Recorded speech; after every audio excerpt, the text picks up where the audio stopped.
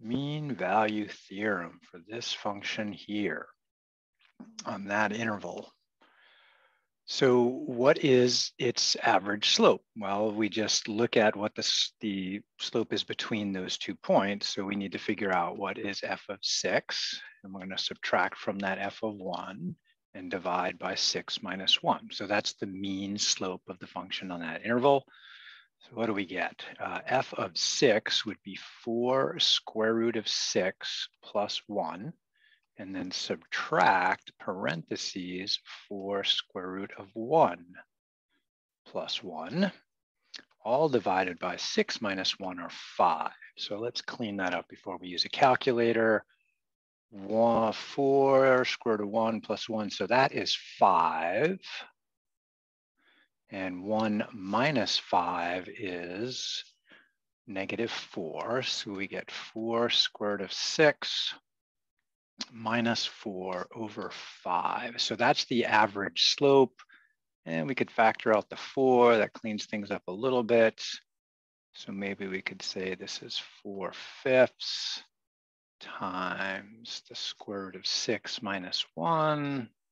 Eh, use about the same amount of ink. So this is our average slope right there.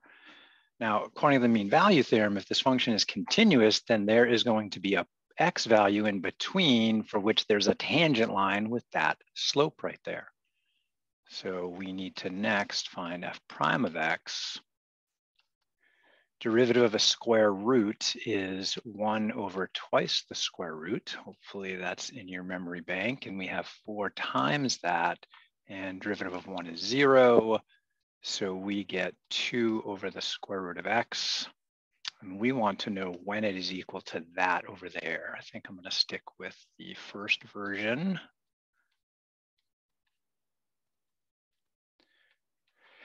And easiest thing to do right here is flip both sides. So that gives me the square root of x over 2 is equal to 5 over 4 square root of 6 minus 4. You can simply multiply the 2 to the other side. And that two divides into the denominator. Two goes into two once and four twice each. So we get the square root of x is equal to five over twice the square root of six minus two. Squaring both sides, we get x is equal to the square of that which doesn't really simplify too much. I don't see the point in rationalizing the denominator here. Oops. But this number, whatever it is, is the x value that gives us uh, a tangent line with the slope that matches the slope at the endpoint. So we're gonna graph that to check. So I'm just gonna call this value a for a minute because what I want to see is I want to see the tangent line and compare it to the line going through the two points at the endpoint to confirm the mean value theorem here. So the tangent line, remember, is y equals f of a minus the slope at a times x minus a. And Mm, yeah, it kind of cleans up if we plug that in, but I'm not going to worry about that too much. I'm just going to use this on a calculator. And then we could use point slope to find that also. I think we'll see that pretty well. So let's graph this, see what it looks like.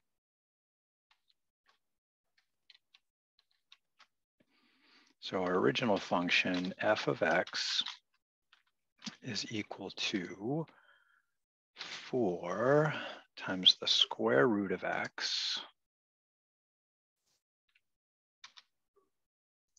plus 1. And we want to consider the points when x is 1 or 6. So we want the point 1, f of 1. Function notation is a beautiful thing in these calculators.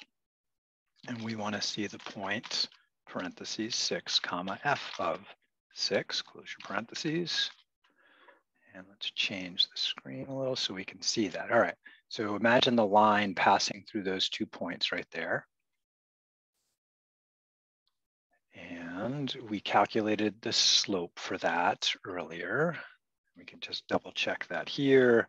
I'm gonna call that M, and that is a fraction f of six minus f of one divided by six minus one, right? So that's our slope right there. We could use the point slope form to find that line using one of these points, doesn't matter which one. So let's say I'm gonna say y equals f of one plus that slope we found above m times x minus one. So there's the line passing through those two points. Now we just found an x value, uh, I'm gonna call that one a like I did in my notes, that uh, is the place where a tangent line has that slope in between these two points. So let's find that. So let's say, uh, we can call it x. No, let's call it a. a equals, let's see, that was a complicated number. So I had to use a parentheses squared. And inside the parentheses, we had a fraction.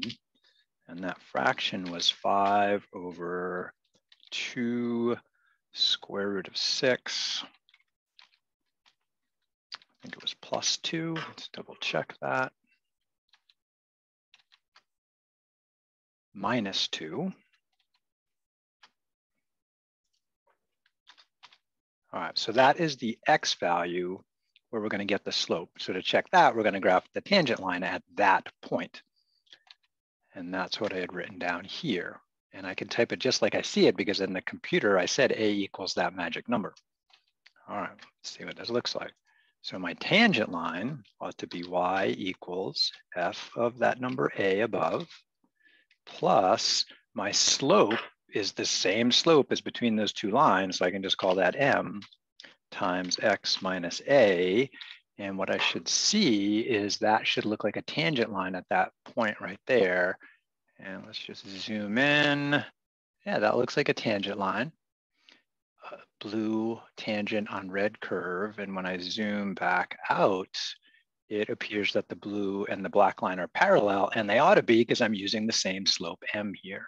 So yeah, we did it. We found the X value that gives us a tangent line that matches the slope at the endpoints of the function.